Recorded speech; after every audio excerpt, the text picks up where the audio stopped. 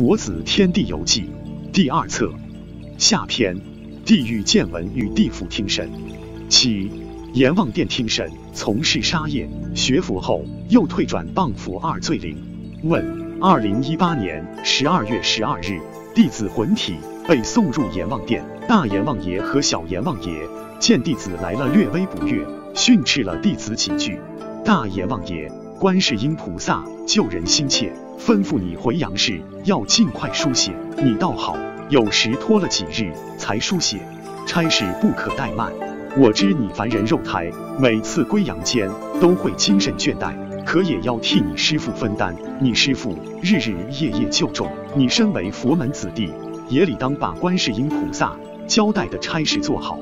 弟子听了，低垂下头，和大阎王爷道歉。双手合十在旁听审，大阎王爷，童子有今天的修为，见到本王训斥，还要赔礼道歉。你们身为心灵法门弟子，只是被你师父训斥几句就退转不修，唯愿吃荤，到处恶口诽谤，堕落地狱，还问为何？金观世音菩萨慈悲怜悯你们，书写公文卷轴交与地府调你们灵体出来。自己老老实实坦诚，若有半句虚假，我在加地狱刑罚期限。X X X，你先说。罪灵 A，我说，我是 X X X，天 X，张家村 X 国。我二零幺 X 年修习心灵法门，二零幺 X 年香港拜师，法会上我和老伴都亲眼见证心灵法门的神奇，法会回来更加精进。努力用功修学，我本是余商，修了佛法后停业不做，也数次现身说法，劝大家不要从事杀业。本来腿就不好，心脏也不好，常常坐轮椅。学了心灵法门后，念经念好的。我没学佛前好色，我妻子不知道我这个毛病，她没什么学识，嫁给我后帮我工作卖鱼杀鱼，见过几次师傅。师傅见我改过向善，大为赞赏。我用我的案例度很多人学佛念经，后面自己不精进、懈怠，再加上自己好色，眼睛老在看共修会长得好看的女师兄。有师兄劝解多次，我还是不改这个习气。一次去海外见师傅，师傅当众讲我毛病，我脸皮挂不住，回来后就不修了，共修会也不去，经文也停念。过后老毛病犯，和村子一个离婚的女子好上了，妻子也不知道。有师兄看到，跑去告诉我老婆，我气急攻心。我生前脾气极为火爆，我对妻子满口谎话，影响我妻子退转不休，不上共修会。阎王爷点开荧幕，醉灵和妻子在张家村到处告诉别人自己的病是医院医好的。心灵法门说的这么玄乎乎的，不知道真假。卢军红台长看的图腾案例也不真实，到处抹黑心灵法门，影响外面很多民众。我过后和外面的这个女子合作搞些门路做生意，我妻子比较愚笨，见到这个女子和我关系密切，也不多想，只是以为我们做生意。我一次载着妻子和情人外出拿货。路途经过一个山路，弯弯拐拐。我那天也不知怎么头脑一直犯糊涂，打了一个盹儿就撞车了，我当场死亡。死后就入无间地狱，受熔浆入口之苦。可怜我这个生前别人都要礼让三分的大壮汉子，在地狱是求救无门，可疼了。熔浆是一万度的热度啊！哭泣声。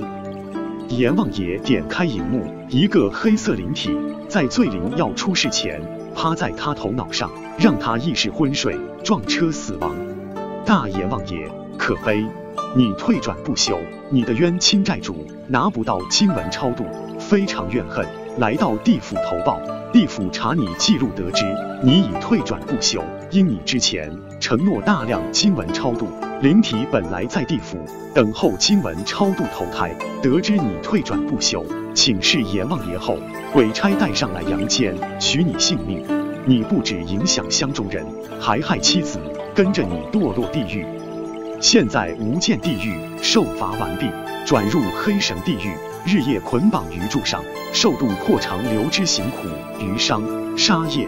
等天上圣旨道，我还安排你灵体出来，让杨氏众生知道杀生害命、堕落地狱的果报。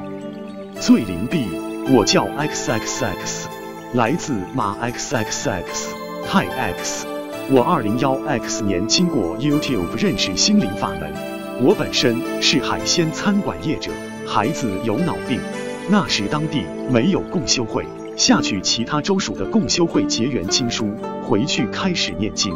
二零幺 X 年在本国拜师，拜师回来后度妻子共修，孩子的病在念经后好转很快，也多次梦到师父和观世音菩萨，还有其他佛菩萨常来加持我们。由于从事沙业，自己无名无知，也没有去跟进开示，也不看白话佛法，天天只知道。盲目地念经。我有一个亲戚修习其他法门，他告诉我 X X X 法门好。我对自己的师父没有起正信心，退转修其他法门后，在 X X X 法门一直造口业，讲心灵法门不好，影响当地的心灵法门共修组弘法。我修了 X X X 法门一段时间，觉得不灵，也不修了。自己的孩子脑病。从好到不修后又复发，我没有去解释自己这辈子为什么这么命苦，只知道老天对我不好，求神拜佛都不灵。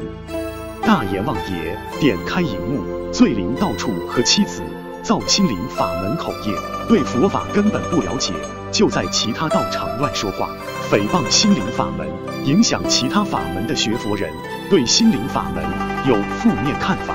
自己不修 X X X 法门后，一样在自己城镇到处造口业，讲这个 X X X 法门道场不好。过后，罪灵在高速公路超速驾驶撞向路旁的防护栏，车毁人亡。罪灵要出事前，地府带了大量黑色小灵体上来，都是罪灵自己从事海鲜餐馆所杀害的水族灵体，附身在罪灵身上，索讨命债。你本来得佛法救度，孩子脑病也蒙菩萨加持好转。只要自己再坚持念经超度冤亲债主，转换杀业，修心向善，这辈子虽不能往生净土佛国，也能得生天道，得享天福。奈何你一念愚见，就退转不修，修习其他佛教法门，也一样不能坚持。怪天怪地，你怎不想想？自己所作之恶，才让你投生到贫苦人家，又因自身业力牵引而从事沙业开海鲜餐馆为生。我虽悲悯你无名造业，可谤佛杀生之报不能免去，你一样是无间地狱，刑满转投黑绳地狱。把你案例分享阳世，以这些功德，我让你还投人道，免堕畜生道。说完，大阎王爷让弟子魂体归阳世。弟子二零一八年十二月十二日，答：看见了吧？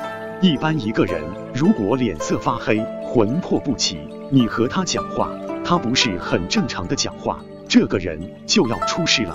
就是说，有很多鬼灵附在他身上，他就看不见对方的车子，就会撞上去，这样收的最快。很多恶灵都是开车就撞死了。他讲的这些不是开玩笑的，而且我知道有这么个人。菩萨讲了，年底还要收很多人，还要去造口业吗？